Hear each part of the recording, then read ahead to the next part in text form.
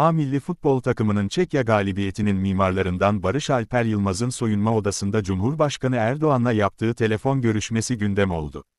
Avrupa Şampiyonası 3. grup maçında Hamburg'da Çekya ile karşı karşıya gelen A milli futbol takımımız, takımın kaptanı Hakan Çalhanoğlu ile oyuna sonradan giren Cenk Tosun'un golleriyle 2-1 yenmişti. Çekya maçında kanat olarak harika bir performans gösteren Barış Alper Yılmaz'ı UEFA maçın adamı seçmişti. Soyunma odasında kutlama yapan milli takım oyunlarına, Gençlik ve Spor Bakanı Osman Bak ile Türkiye Futbol Federasyonu Mehmet Büyükekşi de eşlik etti. Bakan Bak, sahanın yıldızlarıyla Cumhurbaşkanı Erdoğan'ı telefonla konuşturdu.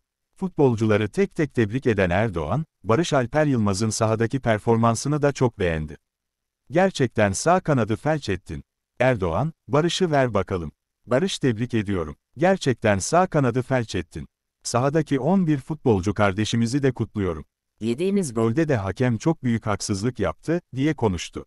Barış Alper Yılmaz, yok ya aa.